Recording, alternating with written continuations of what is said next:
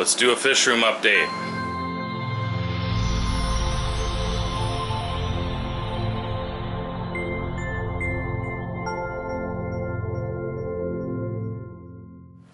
Hey YouTube, Brian here again, just coming at you today with an update. Uh, I'm going to kind of do an all tank update on my tanks for August of 2015. Haven't really done anything since July as far as updating everything, so thought I would go ahead and uh, take you through all the tanks and um, show you what's changed, what's going on, what's new, all that kind of good stuff. I guess we'll start up here with uh, this Umbee pair. I've got a uh, F1 right here, which is uh, from the Magnus line, just a stunner. And then a wild-caught female back there. And as you can see, there's a bunch of fry.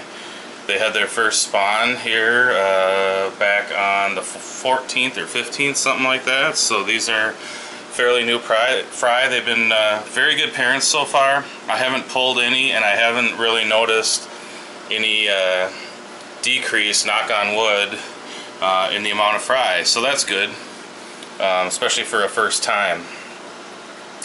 Um, but I'm really liking this pair. Um, just really excited for these guys to grow up even bigger. Um, but uh, this guy is just really sweet. Really liking him. Um, just a beautiful specimen. And, and she's not too shabby either. So, um, so that's that tank. Uh, we'll go down below here. I've moved the three lion's eye that I've kept into this tank. This used to be the Hoga tank, as you know. Notice um, my last pair of Hogaboomorum I have sold off, and they are no longer with me. So um, I had six lion's eye. I kept the three largest ones, and um, they are here. Um, this one has a problem. Got into a little uh, of a scuffle and lost part of its tail. I had some other fish in here. I had some uh, Midas and some um, Texas dithers. And uh, something happened with um, with them. It wasn't another lion's eye, but um, at any rate. And this one got a little scuffed up on its side too, of the other side. But these guys are doing good. Um, looking forward to seeing what happens. If I can get a pair out of these three and then uh, move the third one on but really digging them looking forward to them growing bigger and uh, yeah pretty cool I'll move upstairs here to the Festae pair. Really happy with these guys. They actually did have their first spawn as well here a couple weeks ago. It was real small but as you can see there are some fry swimming around here. It's kind of hard to see with the rocks but you know, they probably had 20 to 30 only, and I could tell it was going to be small just by the amount of eggs laid, but still, I was really happy that this quickly they spawned. I mean, I haven't had these guys, I don't know, I got them sometime this summer, so it hasn't been too long. This female is just a stunner in her breeding dress. And when he gets all, um, when his color is really nice too, he's he's really sweet. So, real happy. Um, like I said, small clutch of spawn or a fry, but um, they've been good parents so far. I haven't yanked any of these either. Just don't really have anywhere to put fry right now. So uh, we'll just see what happens for now. Uh, down below, F1 Rio Mag Umbee pair, uh, Thorson and Maggie. Thorson is just uh, as much of a beast as ever. Really sweet looking fish, just love this guy. Um, she's looking great too. They had a spawn, uh, let's see, well they're in this tank up here, uh, 8-7. So um, there's some fish in here, some fry. Got some uh, gel food that I made, Southern Delight. And I pulled about half of them and then the other half didn't last more than a week or so. Typical with this pair. Not sure why, but it is what it is. So that's what's going on with them. Um, up here in the 75 gallon is some Festae grow outs that I'm actually going to move on. So if anyone's looking to get some Festae grow outs that are really sweet looking, let me know. I've seen what these look like when they get bigger. over at my buddy James Randall's house, and they are quite nice specimens. So um, he's got them in a bigger tank from the same spawn, so his have grown faster, and, and they're something to be, um, something to look at. They're really nice. So, and, and then this is a, uh, a female from, um, when I got these two, I got two females and a male from Mike Melander, and uh, this is the one I don't need. A um, little bit of fin nippage. Uh, I would think that should grow back, but he's available too. I'm looking to move these on fast, so if anybody's interested in getting some Festae, get hooked up with me soon. Um, they're, you know, some of them have a little bit of fin nippage just because they've been fighting and stuff like that, but they're great looking fish, and uh, they're going to turn out to be something spectacular, I think. So that's what's going on there. Uh, down here we just have four fry tanks. Um, this is a few Umbee uh, from, I'll show you him in a minute, but I've got a, a Loki, Loki male left, and then I had a wild caught female that I've moved on. They spawned before I moved her on, and I've just got a few fry from them. Um, the rest of them I really wasn't able to pull in time. Um, some growouts here, mostly Mayans, but there's some uh, RTM and maybe a couple of Umbees mixed in here. Um, Spectabilis growouts. Uh, tank's a little cloudy. I uh, I watched the sponge in tap water for the first time on the water change, and now this is going on. So I'm going to do another water change here and see if I can't get on top of that. And then, like I showed you before, some uh, Thorson and Maggie fry there. This planted tank is about to come down. I've sold most of the plants out of it. I'm going to pull it down and it's going to be a grow out tank for some cichlids. Um, just don't have the time anymore to maintain all these planted tanks. It's, it's a lot of work. So tearing this one down and one other one which I'll show you in a little while. Over here we have got the Redis Latus still. This guy's just all full of attitude. He's just awesome. One of my favorite fish just because purely of his attitude. Um, he's just really fun.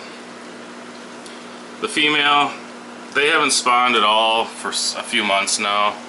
Um, I've had one successful spawn where they made it to uh, free swimmers and but they didn't survive long. Um, looking to get another female for this guy, so if you got one, let me know.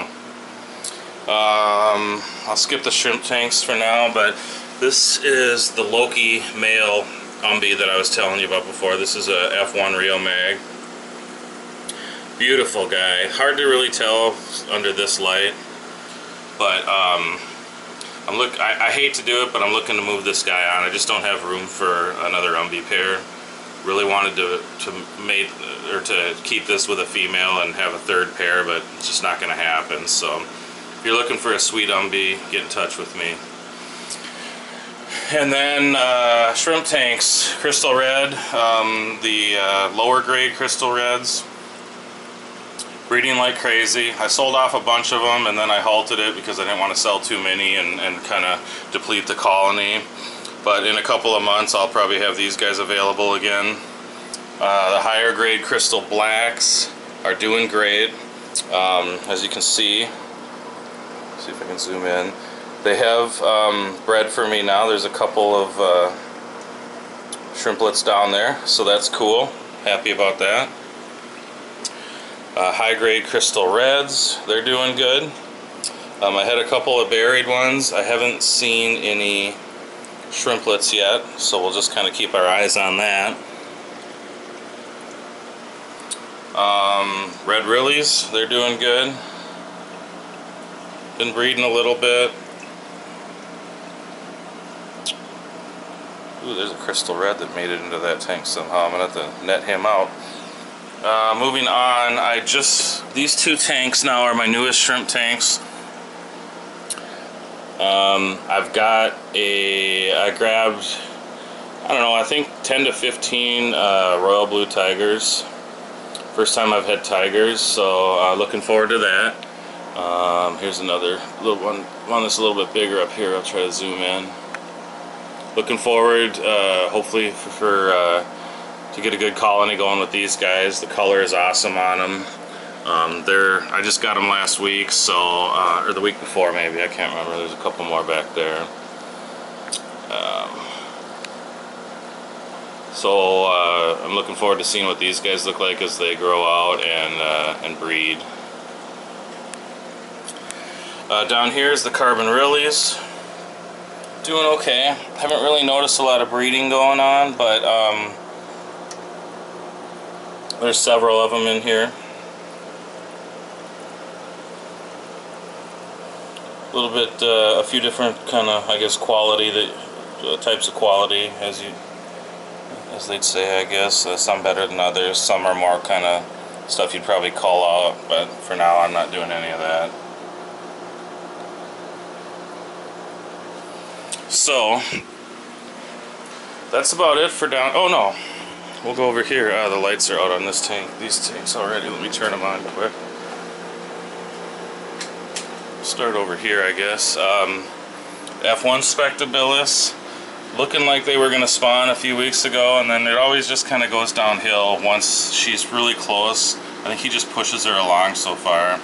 They spawned once for me a few months back. The fry didn't make it, but um, they did spawn and produce a, a, fair amount of fry. So down here, the uh, wild caught Spectabilis pair. These are the ones that um, I bought off of Jeff Raps a while back over the winter. This was his breeding pair um, that he used. These were his breeders for the specs that he sold. They've spawned for me once, and those are the ones over there that I showed you uh, that were growing out. This guy's just so old and stuff, um, you know, they're just kind of doing whatever. Great fish. I don't know, might move them on. We'll just see what happens. They spawned for me once, so that's cool. Um, here are the two Midas I've got left. As you can see, the female turned out to be this creamsicle, and she, they did spawn over the weekend. Uh, not a very big spawn, as you can see too, a lot of the eggs are fungused up, so I don't know what's going to come out of this. But I'm happy that I have a male and a female, at least. I didn't know for sure what I had left. Um, I had three, as you probably remember from my last video. There's the male. But um, he killed the other male, or the other one, I think it was another male, overnight one night. Didn't take long at all. He just had his way with him and it was gone. So I'm left with this pair, which is fine. They're a pair. I'm glad about that. So we'll see what happens. Down below here are the Trimacs. This guy is just looking killer. Um, they've spawned for me. They spawned right at the end of this tube. It was a real small clutch of eggs. Um, I don't know if the eggs ever hatched into wigglers. I haven't seen any unless she's hiding them somewhere. But it was just good news to see that they did uh, spawn she's kind of hiding right now between back there, so I don't know if you'll see her, but she's really nice looking too. But uh, they're getting along great. A little skittish sometimes when I'm trying to film and stuff, but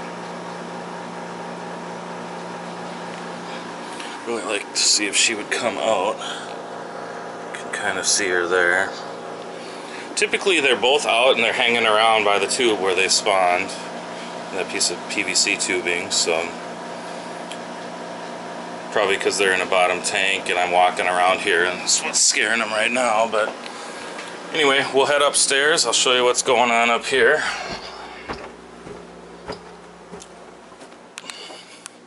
Give you a quick look at the reef tank. The lights just came on so you're not going to see much. Most of the corals are not out or opened up yet. Some of them are a cool little starfish. I'll do, I, am kind of keeping the reef tank videos separate, so I'll do a pretty good overview of what's been going on with the reef tank coming up here relatively soon. So, um, Over here are my RTMs. Got four of them, had five, one of them got killed. Uh, this big one here really likes to stay in the pot. Yeah, they're they're just really skittish um, in this tank. I'm not sure why. Um, I've had them now for three or four weeks, and they've just been that way from the get-go. But there's um, this. This is the biggest one. There's two about the size of this guy, and then there's one real small one. You're probably not seeing much because of the glare from my out uh, my back window there, but. And then I still got the loaches in here.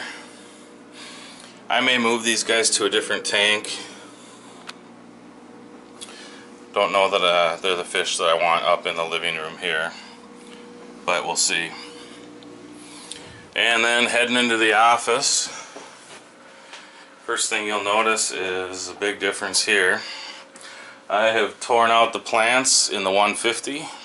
It's no longer going to be a planted tank, and there's a few scraps left, and I dropped a piece of Anubias in there the other day.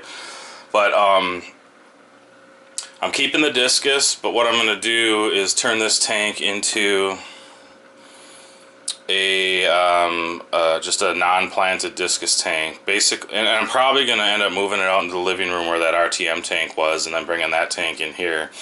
But I'm just going to go with uh, sand and a nice piece of driftwood with some nice branching branches, whatever, and potentially a 3D background and then it's just going to be the discus and um, the cardinal tetras. I'm going to try to get, get a bunch more cardinals so I just have a massive school in there, but that's going to be kind of what the tank is. Maybe a few plants like, um, you know, a couple of Amazon swords or something, but that'll basically be it. It's going to be a simpler tank.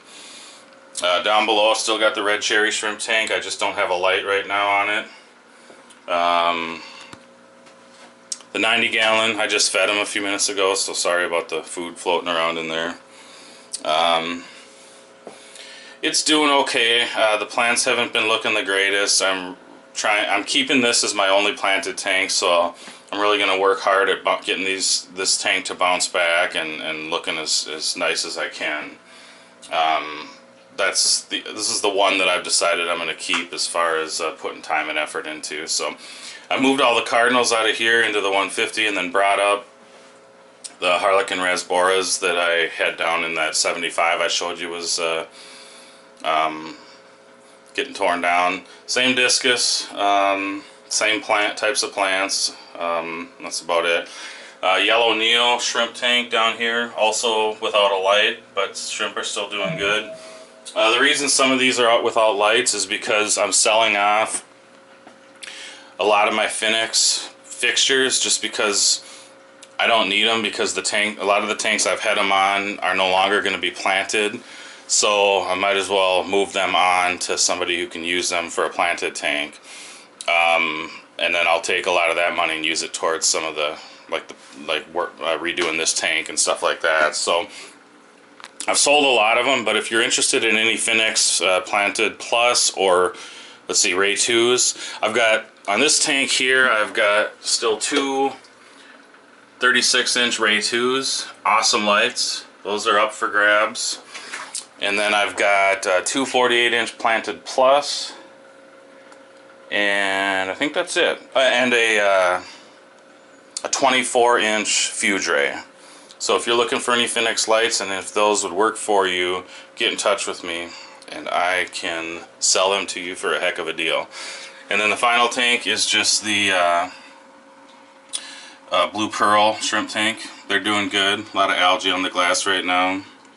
Ooh, just noticing that we got a bunch of babies right here on the glass. I don't know if the video is picking that up, but that's good news.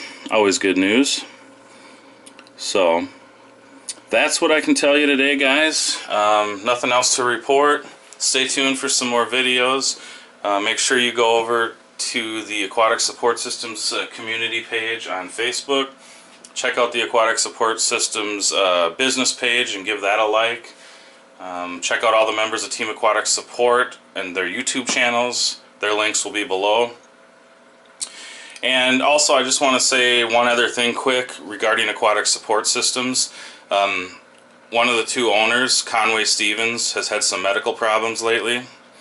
Um, I'm going to try to put a link to a GoFundMe um, campaign that's going on to help him out below here. Um, but if you haven't already seen it, if you're not involved in some of the Facebook fish groups, it's been all over those.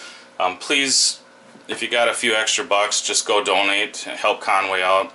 He's had some pretty extensive medical problems and some pretty extensive hospital stays, so the guy helps everybody in the community, doesn't expect anything back, um, and now um, you know there's a campaign going to try to help him out and, and give back to him. So I'll try to link that below, um, but if not, go check it out. It's it's in several Facebook groups, including Aquatic Support Community.